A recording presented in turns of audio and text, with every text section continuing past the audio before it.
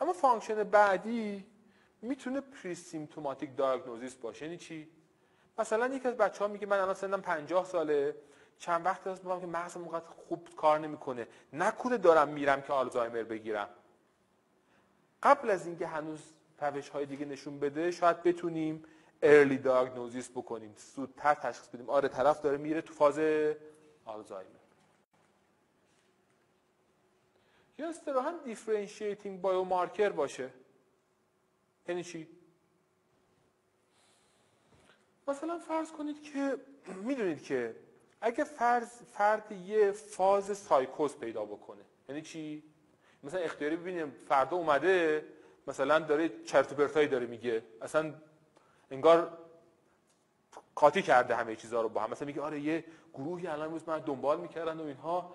من اومدم تو پرشکده فرار کردم اومدم اینجا و بعد نه مثلا می‌خواستم منو ترور بکنم بعد شما بیرون هیچ کس بیرون نیست. یعنی مثلا فرد یه دیلوژنی پیدا کرده یک هالوسینیشنی پیدا کرده. میگه همچنین شما دارین با اختیار صحبت می‌کنه میگه مثلا یک کسی فکر می‌کنه بغل دست نشسته. میگه آره مثلا فلان مثلا امام زمان بغل دست نشسته. ما داریم با هم مثلا مذاکره می‌کنیم که چطور دنیا رو مثلا اداره کنیم و اینها. یعنی یه توهم چیه؟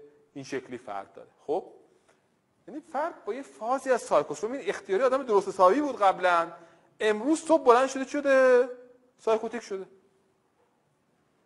بهش میگن psychotics among us خب؟ یه اختیاری که آدم طبیعی بوده شده از امروز صبح شده psychotic شده. سوال اینه که چه اتفاق برای اختیاری میفته؟ دو تا جریان ممکنه ممکنه امروز اختیاری psychotic بشه و قطع بشه و دیگه از بین بره و دیگه تکرار نشه. این ممکنه مثلا فرض کنید یه چیزی شده دیدم یه اختیاری امروز که می اومده نمی‌دونم صبح مثلا چایش رو یکی رفته پایین یه چیزی ریخته تو چایش که شده؟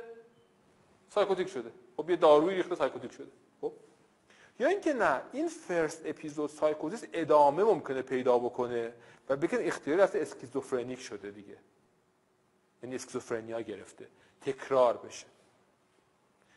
از نظر بالینی شما نمی‌تونید یه first episode psychosis رو تفکیک کنید که این اسکیزوفرنی می‌شود یا یه فاز acute ی از بین میره.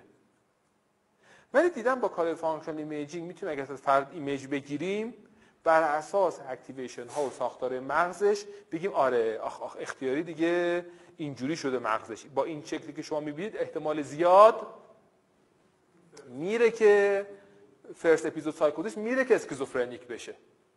به اینا میگن differentiating biomarker یعنی یک شاخص زیستیه که میاد میگه این اینجوری خواهد شد در آینده. در حالی که اطلاعات cognitive عادی ما observation های behavioral ما آنچنان data ی ما توی زمینه تا کنون نمیده. حتی تو drug dependence مثلا فرض کنین که میگن آقا فلانی یه بار مثلا ما دیدیم شیشه استفاده کرد بعد آقا من معتاد نیستم وابسته نیستم مثلا چیز ندارم. میگیم که ما نمیشه از رو رفتارش نمیشه تشخیص داد. میگن داخل دستگاه باید image بگیرید. ببینید که وقتی که عکس مواد رو می‌بینه کدوم نواحی مغزش فعال میشه؟ آیا نواحی که به drug addiction هستن تو مغزش فعال میشه؟ اگه فعال شد میگیم که دیگه شده dependence پیدا کرده. این دیگه داستان فقط یه بار رفتم یه ماده ای رو یه بار استفاده کردم نیست. قضیه خیلی پیچیده تر مثلا نواحی از مغز الان activate که به طور عادی افراد عادی وقتی عکس مواد رو ببینن این نواحی روشن نمیشه. تو این طرف این آقا یه جاهای روشن شده که اوضاع خرابه. مثلا میگیم ما همه سرهنگای مثلا نیرو انتظامی رو قبل از اینکه بکنیم سردار چیکار کنیم؟ یه f مثلا drug addiction بکنیم. نکنه طرف چیه؟ مثلا داره مواد استفاده با خبری نداره. پس mapping رو گفتیم presymptomatic diagnostic رو گفتیم differentiating biomarker گفتیم و سوال بعد treatment outcome monitoring. ما کار درمانی کردیم برای اون مثلا سرهنگی که مثلا بعدا فهمیدیم drug dependence داره. خب می‌خوام مثلا خوب شده یا خوب؟ نشده. بالاخره بفرستیم بره مثلا درجه بالاتر بگیره. چیه؟ نه این treatment outcome monitoring می‌خوایم بکنیم. یعنی مانیتور بکنیم یا مانیتور کنیم که واقعا تاثیر گذاشته. اون درمان ما تاثیر نذاشته. مثلا یه مطالعه ما انجام داده بودیم تو اونهایی که هروئین بودن اومدیم متادون بهشون می‌دادیم. ببینید وقتی متادون بهشون میدیم کجا مغزشون عوض میشه اصلا؟ آیا همه abnormal activity ها درست میشه یا درست نمیشه؟ خب؟ بعد نشون دادیم که مثلا قبل از متادون این نواحی مغزشون روشن می‌شد. خب؟ بعد از اینکه متادون می‌گرفتن دیگه اون نواحی مربوط به تصمیم گیری و ریوارد دیگه روشن نمی‌شد. پس جنبندیمون این بود که تاثیرگذار بوده دیگه فرد اون درگیری رو نداره. اما یه ناحیه دیدیم هنوز روشنه. یه ناحیه روشن مونده. بعد دیدیم بررسی کردیم این چه ناحیه‌ایه دیدیم ناحیه‌ای که پرموتوره. یعنی چی؟ مال موتور پلنینگه.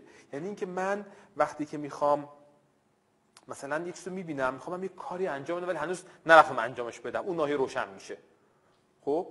جالب خود اونایی که متدون مصرف می‌کنن میگن میگن آره ما وقتی که نشانه های مواد رو می‌بینیم دیگه دوست نداریم بریم مصرف کنیم. ولی یه وقتی انگار نمیفتیم میریم انجام میدیم. یعنی سیستم motor preparation و motor planning و motor execution کار می‌کنه هنوز. در حالی که اون سیستم reward کار نمی‌کنه. پس ممکنه خب بگیم ای بیایم این ناحیه premotor ی که هنوز activate مونده رو بیایم چیکار کنیم؟ مثلا با brain stimulation از کار بندازیم یه کاری براش بکنیم. یعنی بالاخره داره من یه هینتی تو فضای تریتمنت آوتکام میده که بر اساس می‌تونم چیکار بکنم؟ قضاوت درمانی بکنم و کار